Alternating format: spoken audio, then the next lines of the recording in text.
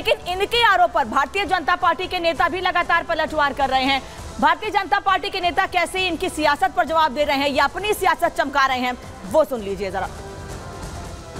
हमें उम्मीद थी कि हमें इस मुश्किल के वक्त में पड़ोसी राज्यों का और सहारा मिलेगा, लेकिन हरियाणा सरकार को कोई फ़र्क नहीं पड़ता। हरियाणा सरकार को पूरी विनम्रता के साथ अपील करने के लिए हमारी कैबिनेट की साथी आतिशी जी सत्याग्रह कर रही हैं। तो दिल्ली के लोगों का जो पानी है वो हरियाणा सरकार के माध्यम से उनकी नदियों से आता है। जो पानी निर्धारित है, पिछले कई महीनों से,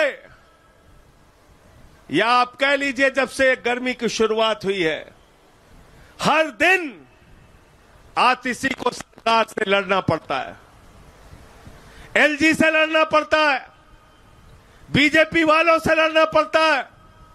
हरियाणा की सरकार से बार बार अनुरोध करना पड़ता है। हमारी मंत्री, हमारी सरकार ने जो कुछ करना था, वो सारी चीज़ें कर ली।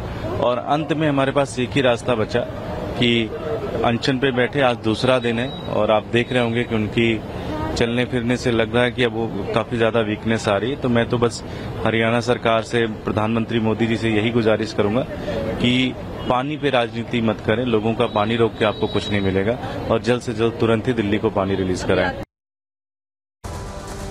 सुनीता केजरीवाल, संजय सिंह और दुर्गेश पाठक को आपने सुना। वो ये कह रहे हैं कि भाई हमारी मंत्री प्रदर्शन कर रही हैं, दिल्ली के लोगों के लिए प्रदर्शन कर रही हैं, लेकिन इस बीच भारतीय जनता पार्टी के नेता कैसे इस पर सियासत कर रहे हैं, कैसे वो आरोप लगा रहे हैं, दिल्ली की सरकार पर ये आपको बता देते हैं। भारतीय जनता पार्टी के नेता कह रहे हैं कि दिल्ली में जल बोर्ड के बाहर बीजेपी प्रदर्शन कर रही है और प्रदर्शन की तस्वीरें भी लगातार सामने आ रही हैं।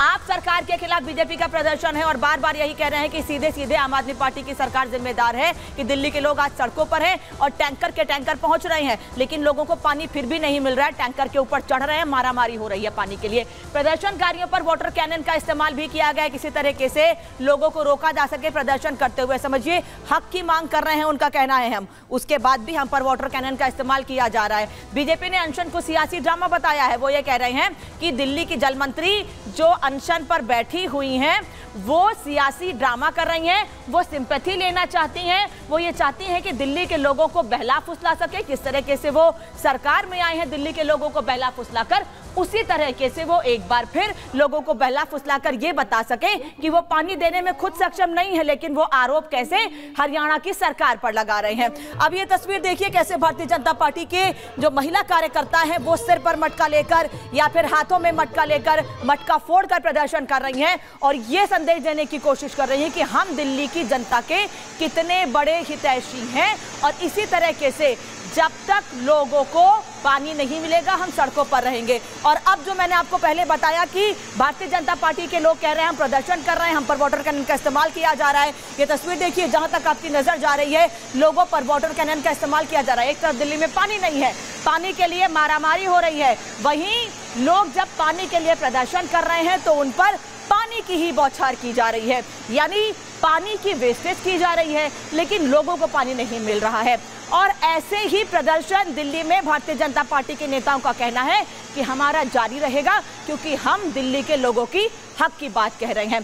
कैसे सियासत और हो रही है इस मामले पर? जरा सुनिएगा हर गली में, हर मोहल्ले में पानी नहीं पहुँच रहा है। और जो जल मंत्री है, वो नौटंकी कर रही है, धरने पर बैठ गई है। उनसे मैं पूछना चाहता हूँ आप सरकार चलाने के लिए आए, धरने पर बैठने के लिए आए। आपने वैज्ञानिक ज्ञान बांटते थे, केजरीवाल साहब। वैज्ञानिक भी शर्मा जाते थे कि शीला दीक्षित भ्रष्ट है, टैंकरों में भ्रष्टाचार है, इसको जेल भेजूँगा।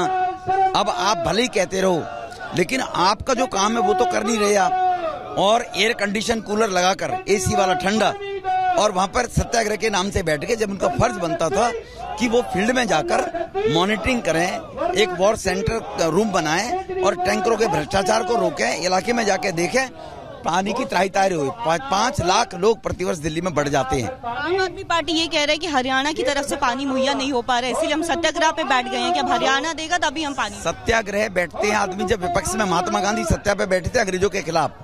आप सरकार में हैं आपको राइट ही नहीं है सत्याग्रह पे बैठने का। आपका आपका आपको चाहिए, आपका फ़र्ज़ बनता है इलाके में जाकर काम करें। और मैं पूछना चाहता हूँ, दस साल में आम उनसे ये पूछा आम आदमी वालों से, दस साल में एक एमजीडी पानी बढ़ाया क्या दिल्ली में? अगर रिज़र्व रिजर्वायर जो है, वो वजीराबाद का रिजर्वायर ढाई सौ का था, वो गाद और मिट्टी से भरा हुआ है। 233 एमजीडी पानी कम आता, केवल 16 एमजीडी का रह गया वो। क्या करते रहते साल में? क्यों नहीं साफ़ किया?